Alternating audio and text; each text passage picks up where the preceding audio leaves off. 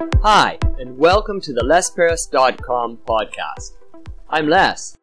This podcast is a short daily monologue that you can listen to. Use it to practice listening to English. Use it to stimulate ideas. Use it for BGM. Hi, you're listening to the eighth episode of the Les Paris podcast. I'm Les Paris, and yesterday I talked about watches. I realized it's a huge topic, and I could talk for hours about it. Today, I want to talk about bears. Bears. Are bears really dangerous? What do you think? When I was a little boy, I went camping every summer with my family. We didn't actually think bears were a big problem. Naturally, they're dangerous, but if you take all the safety steps, you should be okay. So we put our garbage in the bear proof garbage containers. We also didn't go wandering around alone in the woods. But actually, out in the woods is probably a little bit safer in Canada because the dangerous bears are close to humans.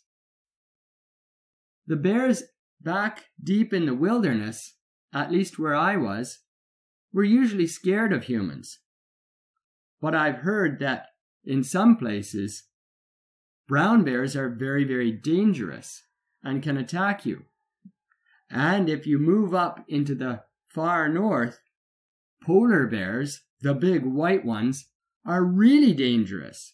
In fact, they like to hunt humans.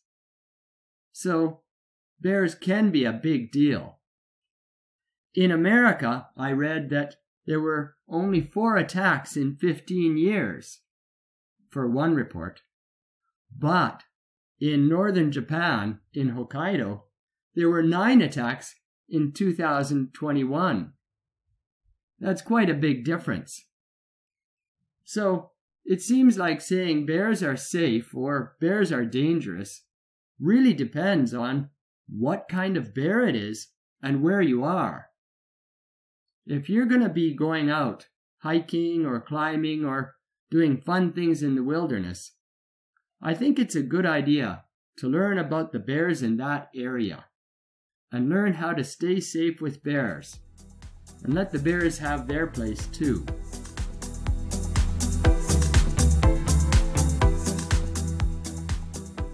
Thanks for listening to my eighth episode, which was about bears. The next episode, number nine, is about coffee. Coffee is also a huge topic, but maybe we can find a few small interesting things about it.